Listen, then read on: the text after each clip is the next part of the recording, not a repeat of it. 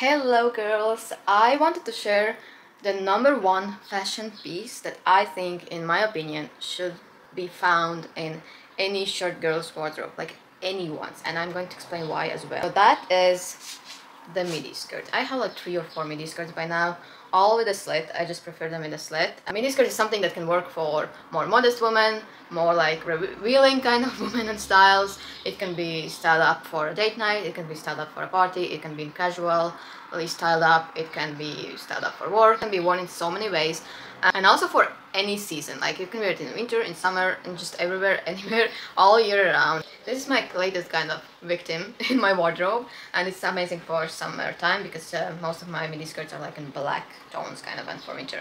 And the reason why is if you forget about the reasons I already mentioned is because mini skirt usually comes always high-waisted so anything high-waisted looks great on you.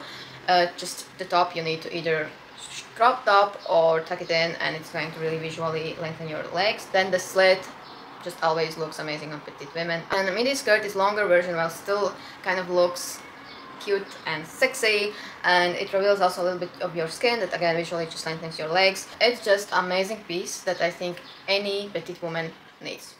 Let me know if you agree and let me know if you want part two. Maybe we need to talk about some other piece that is very important for petites as well